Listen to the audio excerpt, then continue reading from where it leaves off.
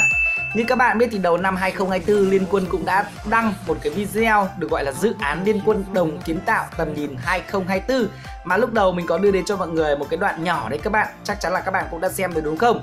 Với cái sự kiện dự án Liên quân đồng kiến tạo tầm nhìn 2024 chúng ta cũng đi gần hết rồi. Chúng ta cũng đã trải qua đó chính là đón nhận thêm thành viên của nhóm nhạc Way. Chúng ta cũng đã trải qua sự kiện uh, sinh nhật ờ, uh, 8 tuổi của Liên quân Và chúng ta cũng đã đón nhận rất nhiều trang phục mới Rồi tướng mới được chuyển giao từ tựa game Vương giả Vinh Diệu sang Liên quân còn có một cái sự kiện duy nhất một cái sự ờ, một sự kiện cuối cùng trong cái dự án à, liên quân đồng kiến tạo tầm nhìn 2024 này đó chính là sự kiện ra mắt thành viên của biệt đội thứ nguyên vệ thần à, như các bạn biết hiện tại thì thứ nguyên vệ thần chúng ta gồm có ờ, năm bộ trang phục Ari thứ nguyên vệ thần, Violet thứ nguyên vệ thần, Telnet thứ nguyên vệ thần, Laurel thứ nguyên vệ thần và necros thứ nguyên vệ thần. Nhưng mà trong năm 2024 theo những cái dự án liên quân đồng kiến tạo tầm nhìn 2024 thì chúng ta còn đón nhận thêm một thành viên nữa của biệt đội thứ nguyên vệ thần. Nhưng mà hiện tại thì uh, liên quân chưa ra mắt mà các bạn biết bây giờ là tháng tháng nào không? Chúng ta cũng uh, bước sang đó chính là tháng 12, tháng cuối cùng của năm 2024 thì khả năng cao theo như dự đoán thì đây là tháng cuối cùng của năm 2024 theo như dự án của liên quân ấy thì à, khả năng cao tháng này sẽ là tháng ra mắt trang phục thứ nguyên vệ thần thứ sáu và như các bạn biết bộ trang phục uh, thứ nguyên vệ thần thứ sáu cũng đã được hé lộ đã có rất nhiều bên uh, leak được uh, gọi là hé lộ ra đó chính là Van Halen sẽ có bộ trang phục thứ nguyên vệ thần và đấy sẽ là bộ trang phục thứ sáu của biệt đội thứ nguyên vệ thần nhé các bạn. Quá tuyệt vời đúng không nào? Và ừ, các bạn cũng đã để lại khá là nhiều comment khi mà tò mò không biết tính năng của Van Hên thứ nguyên vệ thần sẽ ra sao.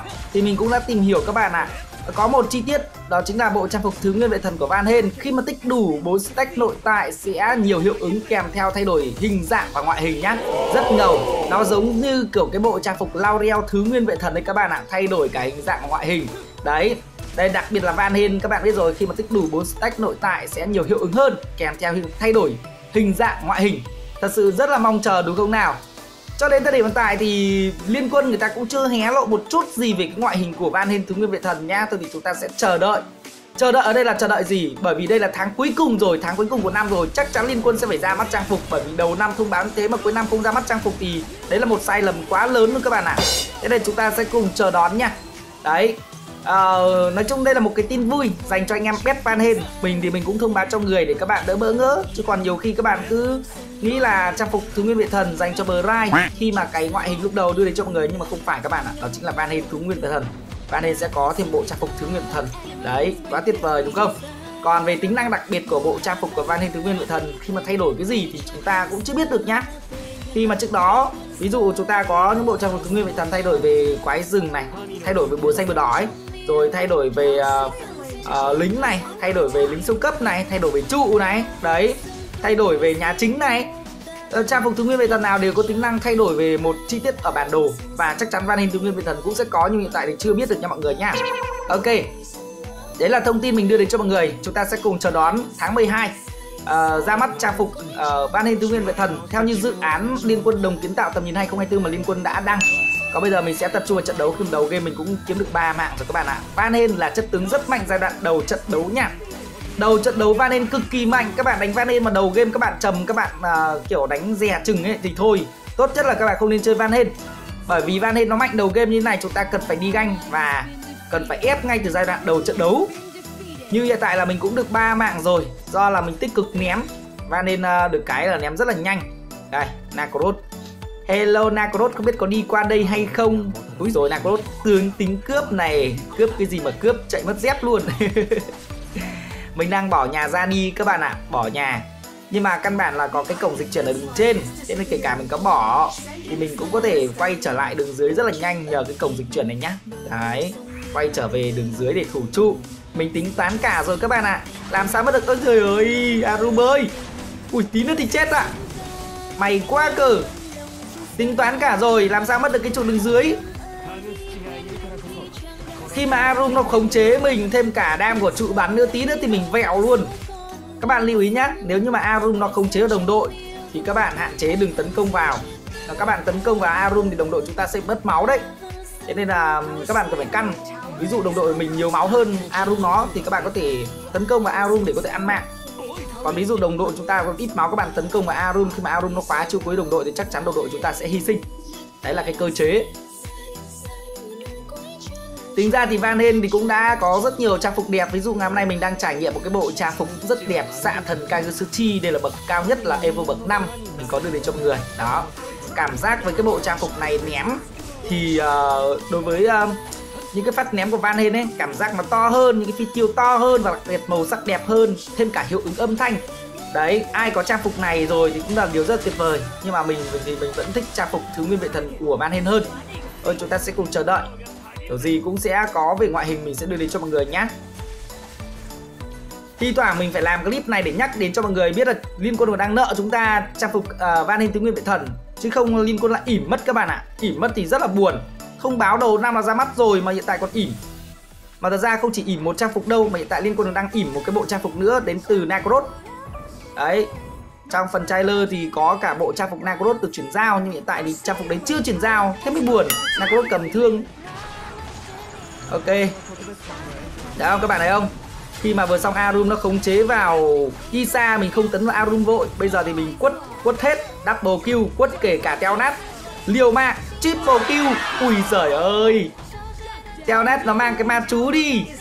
Nó không mang ma chú là ngon rồi. Mà bằng đấy máu mình thấy mình còn nhiều máu phết mà cái ma chú nó nổ vét mình chết luôn. Ảo thật. Team địch đã có sự cố gắng khi bạn được hai mạng rồi nha. Video dành cho vị tướng Van Hên thì trận đấu ngày hôm nay mình sẽ lên đồ như sau. Trang bị đầu tiên sẽ là trang bị giày. Giày thì các bạn có thể lên tùy ý, giày hộ vệ, giày kiên cường, giày tốc đánh này, đấy tùy các bạn thôi. Ngoài ra mình sẽ lên đó là kiếm Fanny, sau đó là thương xuyên phá rồi đến xạ nhật cung rồi đến là diều Hyoga. Trang bị cuối cùng sẽ là trang bị giáp bộ mệnh nha. Lên đồ như thế này thì mình có thể thả diều được tốt bởi vì mình có tốc đánh này, vừa đánh vừa chạy. Đấy, thả diều. Ngoài ra mình còn cứng cáp hơn đến từ trang bị diều Hyoga, vừa đánh làm chậm lại còn trâu hơn. Và bản thân chúng ta cũng có uh, trâu hơn đấy như vậy thì có thể thả diều được tốt nha như arum này ném Aru, ui ui ui rồi chạy này chạy đi đâu con sâu? Đứng lại đứng lại. Ui khóa mình làm cái gì? Khóa mình làm gì? Này thì arum tiễn bạn một đoạn đường. Ơ kìa. Isa nhanh tay quá nhưng thôi không sao các bạn ạ. À. isa bạn ấy ờ, mới ăn được hai mạng 206 mình ăn được 6 mạng rồi. Cho đồng đội của mình xanh thêm chút. Đấy ban nên có nhiều tốc đánh thì đánh đỡ bị tù nha các bạn mà không lên tốc đánh cho ban nên tù lắm đây là vừa đánh vừa di chuyển vừa đánh vừa di chuyển. Thật sự uh, kể cả cái bộ trang phục này thì các bạn biết uh, khi mà chúng ta tích đủ uh, uh, đó chính là cái nội tại của Van Hên ấy thì nhìn thay đổi cũng rất đẹp. Thế nên chắc chắn là trang phục uh, Van Hên tứ nguyên Vệ thần khi mà tích đủ nội tại ngoại hình cũng có sự thay đổi thì đẹp lắm. Giống như kiểu Laurel thiếu nguyên thần các bạn bật ulti lên phát nó khác biệt hoàn toàn luôn. Ok, bây giờ ép luôn cái trụ đường giữa nha. Mình có xạ nhật cung rồi, tầm đánh của mình được tăng lên khá nhiều. Ôi rồi ôi xin vĩnh biệt arum rồi công nhận. Có cái xạ nhật cung kích hoạt lên một phát tầm đánh tăng lên rất nhiều. Nên đứng từ xa ném vô cùng hiệu quả. Đêm dài lắm mộng mà. Nên trận đấu này nếu như ép được sớm càng sớm càng tốt. Bởi vì nếu như đánh về late game thì cũng không biết được rằng team địch có bật được hay không. Đầu game thì mình đang kiểm soát như này ép được càng nhiều trụ càng tốt nha. Bên kia có Hayate late game thì gặp mình bị khắc chế rồi. Solo Hayate mình sẽ để dành chiêu hai ăn uh, ném choáng. Hayate nó lao bão phi tiêu ném choáng thẳng mồm phát là coi như là Hayate sợ luôn. Ép nhanh đây sẽ là trụ đường lính số cấp đầu tiên Trời ơi, lính tràn vào phát là có được một trụ rồi Như thế này là rất thành công rồi nha Nhanh thật các bạn ạ, vèo một phát chưa làm cái gì mà chúng ta cũng sắp sửa kết thúc năm 2024 và chuẩn bị chào đón năm 2025 rồi đấy Sắp sửa kiểu Merry Christmas and Happy New Year nhanh thật các bạn ạ. Mình cũng rất là cảm ơn uh, những cái bạn đã đồng hành cùng mình ở trong suốt năm 2024 và mình sẽ có những cái chương trình ưu đãi các bạn ở trên đại lý nếu như mà các bạn à, cuối năm các bạn có thể ghé qua đại lý của mình để có thể ủng hộ. Ấy kiếm về những em liên quân có nhiều tướng và skin để quẩy Tết thì các bạn có thể ghé qua đại lý của mình nhá. Đại lý của mình bên dưới phần comment đó. Trận này thì team mình có Mina. Các bạn thấy Mina rất hổ báo. Đấy, đánh nó phải có cả Ui ôi vừa mới khen Mina được một câu mà Mina làm cái combo mà đau hết ca mắt. Tốc biến lên kéo xịt mất. Ôi không sao, không sao bởi vì mình vẫn có được mạng. Đánh một đội hình nó phải đầy đủ như là xạ thủ, pháp sư, đỡ đòn, sát thủ. Đấy Thì nó mới tuyệt vời. Như thế này rồi không ăn được mạng kìa. Đen quá. Khi mà mình lên giáp bọc mạnh xong thì mình sẽ tích tiền cho mọi người nha. Bây giờ mình chưa lên được giáp bọc mạnh. Lát nữa lên được giáp bọc mạnh xong tích tiền để à, soạn cái trang bị liềm đặt mệnh. Có trang bị liềm thì lát nữa mình bán đổi đồ đi cho nó hiệu quả.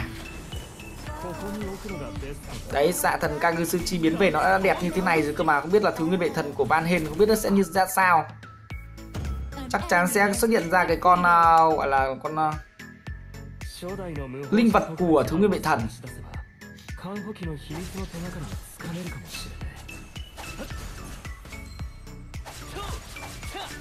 Team địch đang tập trung ở đường giữa kìa. Anh em bình tĩnh nhá, hết sức bình tĩnh. Mình đang quan ngại bởi vì là có giao tranh mà không không có mặt mình.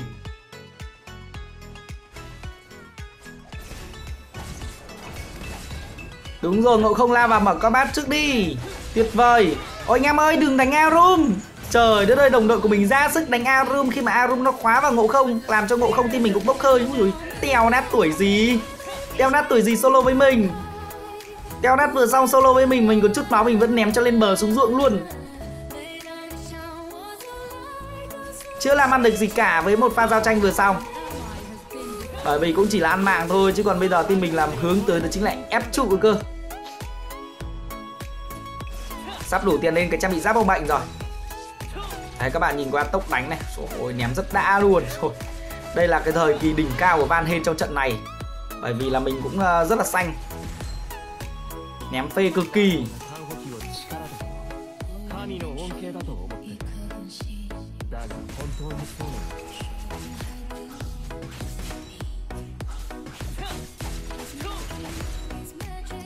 Team địch là không dám ăn ra đâu 18-6 Team địch mới ăn được 6 mà như thế này, khả năng cao phải kéo dài trận đấu lên 18 phút thì lúc đấy chắc team địch mới full được đồ. Chứ còn bây giờ là mình full đồ rồi, có giáp bông bạch ở đây rồi. Để xem có bắt lẹt được hay không nha. Nào, trước tiên cần nút bụi trước đã. Đây rồi, Hayate này. Này thì Hayate này, bốc hơi Arum làm gì đây? Bỏ ra. Đã bảo bỏ ra rồi. Quất Luna room nhá. Ui chạy này, chạy này, chạy này double kill. Ném đá dã man. Thiên địch bốc hơi ba người và đây sẽ là đường lính siêu cấp thứ hai, hai trụ đường lính siêu cấp. Giờ làm sao lát nữa lấy nốt đường lính siêu cấp thứ ba nữa là thành công. Ok, bây giờ kiểm soát cái con Seta là hợp lý nha.